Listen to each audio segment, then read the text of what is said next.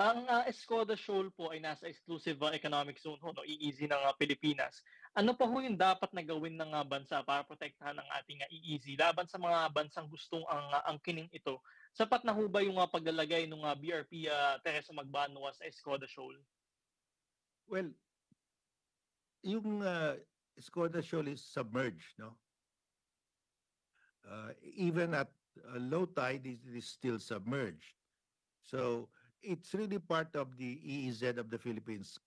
Uh, so ang pwede magawa natin, bantayan natin, put the Magbanwa there for a long time, or we can put a structure. Dahil uh, under UNCLOS, we are the sole state that can put up a structure in our EEZ, only the coastal state. So pwede natin tayuan ng, let's say, outpost, uh, Navy outpost or Coast Guard outpost dahil malapit yan sa Reed Bank eh.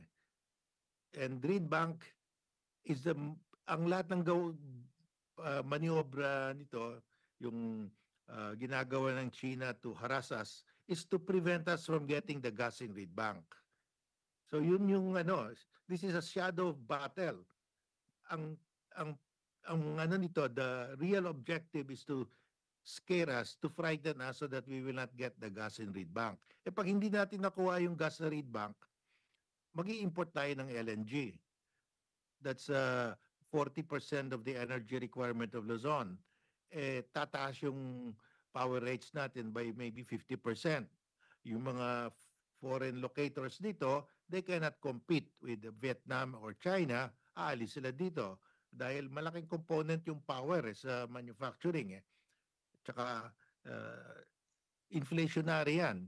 Uh, mga workers natin will demand higher wages kasi pag tumaas yung uh, power rates, eh, affectado everything, no? Everything is affected.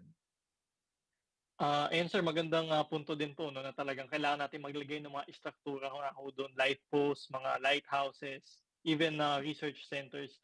Sir, hindi ho ba ito lalong uh, magpapataas ng uh, tension sa West Philippine Sea sa kasalukuyan kung sakasakaling gawin ho natin ito?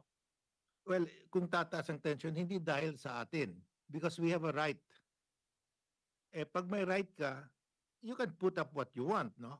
Eh, pag natatakot ka, then you don't, kahit na legally may right ka, useless sa iyo yun. If we do not get the gas, useless yung exclusive economic zone natin. So, katulad ng Malaysia, hindi sila natakot. Sabi ng China, hindi hindi kayo pwede ko uh, you cannot drill there, you cannot survey drill, magkakagera.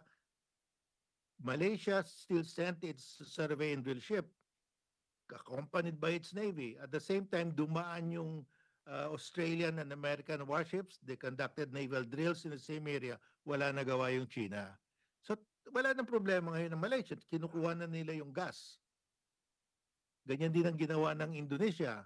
Sabi ng China, you cannot get the gas in the Natunas. That's within the 10-dash line. Eh, ginawa pa rin ng Indonesia. Pinadala nila yung survey ship nila at saka Navy. At the same time, dumaan yung US aircraft carrier Ronald Reagan. Wala magawa yung China, yung Coast Guard. So, pag may political will ka, pag wala kang political will, takot ka, eh walang mangyari sa iyo. Ayan, ang maganda din ho yun na talagang may mga bansa na ho talaga na may experience ho sa ganito kasi hindi lang naman ho talaga tayo ang binubuli ng China. Justice Scorpio, uh, sinabi ho ni uh, retired Admiral uh, Alexander Lopez, ang uh, tagapagsalita ng uh, National Maritime Council, na balak ho ng Pilipinas na maghain ng panibagong kaso laban sa China bukod pa dun sa mga diplomatic uh, protests. So tama po ba yung tatahaking uh, direksyon ito ng ating uh, gobyerno?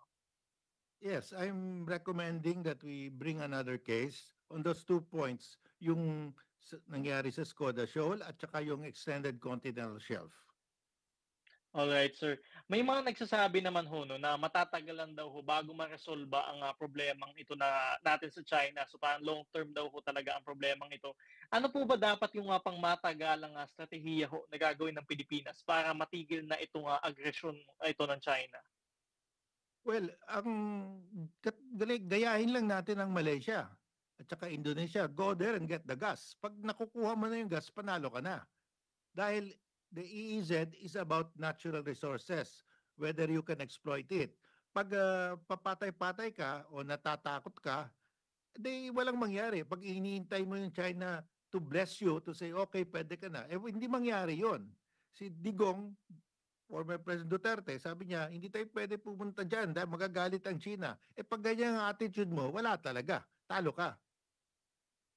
And to mention din nga ho, sir, nananalo tayo dun sa arbitration pero hindi nga po natin pinapatupad. Tama ho ba? Yeah, eh yung Malaysia, Indonesia, wala silang arbitration award.